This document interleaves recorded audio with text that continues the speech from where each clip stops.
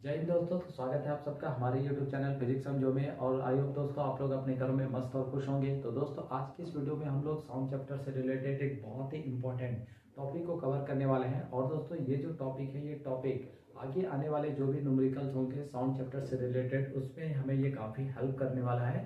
तो चलिए, आज के टॉपिक को कवर करते हैं। देखिए टॉपिक क्या है? तो what is the relation between velocity frequency and wavelength यानी दोस्तों, आज की इस वीडियो में हम लोग वेलोसिटी फ्रीक्वेंसी और वेवलेंथ के बीच क्या करने वाले हैं तो एक रिलेशन सेटअप करने वाले हैं, ठीक है? तो यहाँ पे किसकी बात की जा रही है? वेव की। साउंड में हम लोग क्या पढ़ते हैं? साउंड वेव के बारे में, ठीक है? और हम लोगों को पता है कि ये साउंड वेव का क्या है? जनरल ग्राफ है, ठीक है?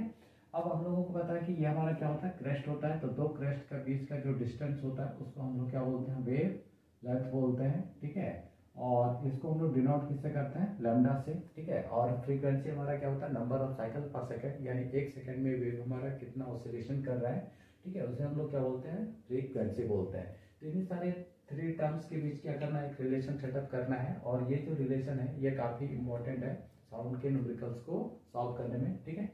तो दोस्तों, हम लोग को पता है, यानी वी नाउ दैट क्या पता है? तो एक कॉमन फार्मूला हम लोगों ने पढ़ा हुआ है कि वेलोसिटी इक्वल टू क्या हो जाता है? डिस्टेंस ट्रेवल्ड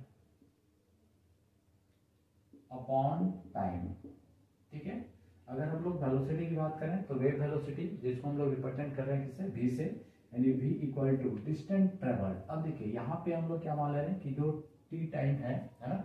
वेव को टाइम कितना दिया गया है? टी और टी सेकंड में वो जो हमारा वेव है, वो कितना डिस्टेंस कवर करता है? लेमडा ठीक है? क्योंकि यहाँ पे साउंड चैप्टर में डिस्टेंस किसको बोलते हैं? वेव लेंथ को। तो टी सेकंड में कितना डिस्टेंस ट्रेवल कर रहा है? लेमडा तो डिस्टेंस ट्रेवल कितना हो गया? लेमडा अपॉन टाइम कितना हो गया? टी ठीक है? अब यहाँ से दोस्तों अगर हम लोग टी निकाल लें तो टी इक्वल टू क्या हो जाएगा? लेमडा अपॉन भी ठीक है? टी इक्वल टू क्या आ गया? लेमडा अपॉन भी अब देखिए, दूसरा टर्म हमारा क्या है? फ्रीक्वेंसी है ना? तो फ्रीक्वेंसी क्या होता है?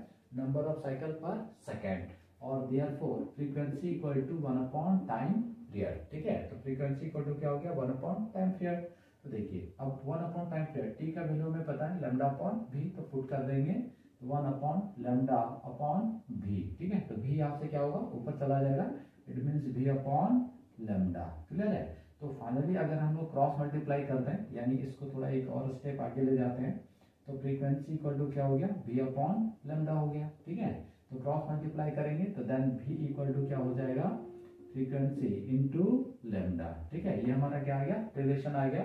तो ये हमारा देखिए वेव वेलोसिटी है ना? और वेव वेलोसिटी इक्वल टू क्या हो गया? फ्रीक्वेंसी इनटू वेव लेंथ तो इसको हम लोग लिख लेते हैं तो velocity wave velocity equal to क्या हो जाता है? फ्रीक्वेंसी इंटू वेव लेंथ ठीक है? और काफ़ी इंपॉर्टेंट फार्मूला है दोस्तों, है ना? इस फार्मूले के हेल्प से हम लोग साउंड चैप्टर के बहुत सारे न्यूमेरिकल जो है सॉल्व करने वाले हैं। तो आई होप दोस्तों, आप सबको ये रिलेशन समझ में आया होगा तो मिलते हैं अगले वीडियो में इसी फॉर्मूले से रिलेटेड न्यूमेरिकल के साथ। तो थैंक्स बाय बाय